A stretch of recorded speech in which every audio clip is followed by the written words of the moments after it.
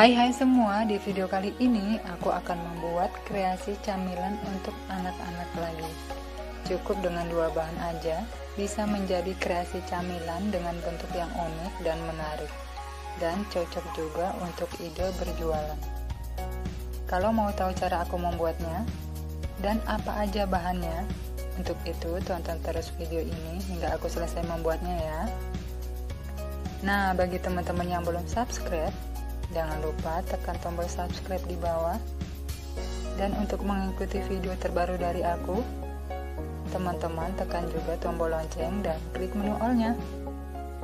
Yuk langsung aja kita ke persiapan bahan ya. Adapun bahan yang aku gunakan, ini ada satu buah sosis, bisa merek Hemato atau merek lainnya ya. Kulit lumpia, ini bisa dibuat sendiri atau kalau teman-teman mau praktis bisa dibeli di pasaran dan gunakan yang masih baru dibuat ya sehingga mudah untuk dibentuk.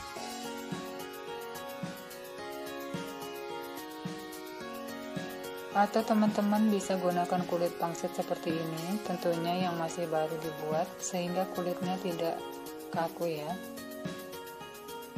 Dan terakhir ada tusukan sate, ini aku siap kan cukup 5 tusuk aja ya.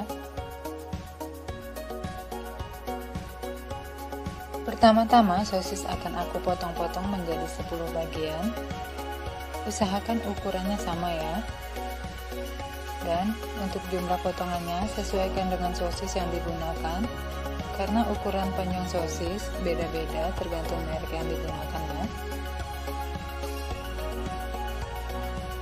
Lalu aku pakai kulit lumpia. Ini aku ambil satu lembar, aku potong bagian bawahnya, lalu potong menjadi dua, lalu sisihkan.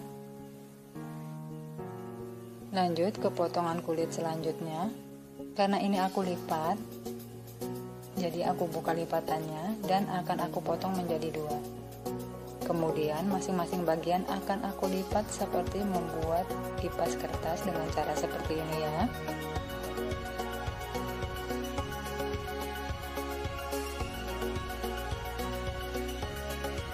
Kalau sudah, ambil satu potongan bagian bawah tadi, lalu ikat dengan posisi di bagian tengah, seperti ini ya. Kalau sudah, aku sisihkan dulu.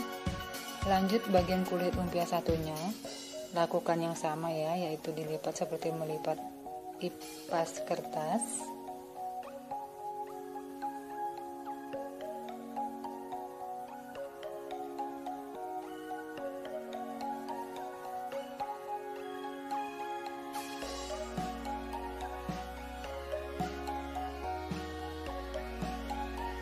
Nah, kalau sudah jadi seperti ini, ambil satu tusukan sate, lalu tusuk pada bagian tengah kulit lumpia yang dibuat. Gunakan satu dulu. Kemudian ambil satu buah potongan sosis dan tusuk, lalu dirapatkan dengan pita kulit lumpianya.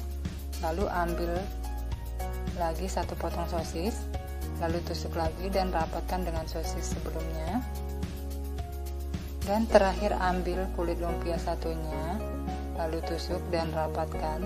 Tapi jangan terlalu rapat ya sehingga ada rongga. Kalau sudah sisihkan. Lanjut ke kulit lumpia berikutnya. Caranya juga sama ya dipotong dulu bagian bawahnya lalu potong jadi dua. Kemudian sisihkan.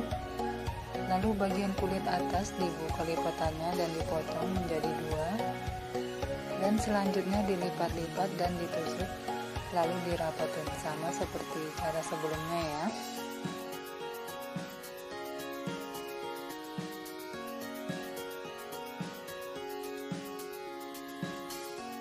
Lakukan semuanya sampai selesai ya. Inilah hasilnya setelah semuanya selesai dibuat ya. Jumlahnya ada 5 pieces. Selanjutnya siap untuk digoreng Panaskan minyak, gunakan api sedang ya. Kalau sudah panas, masukkan, jangan terlalu rapat ya. Supaya ada ruang untuk kulit lumpianya mekar saat digoreng dan tidak nempel satu dengan lain. ini aku goreng 4 dulu supaya berjarak ntar kalau langsung 5 takutnya malah menempel satu dengan lainnya ya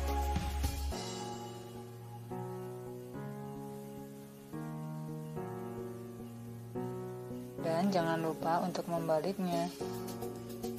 Goreng hingga kecoklatan dan matang.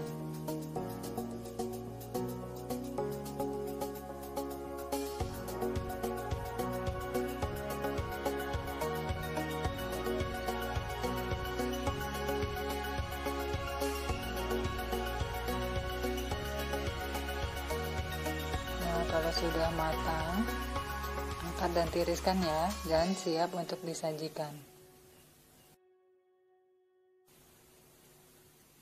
Nah ini dia kreasi camilan sosisnya sudah siap santap.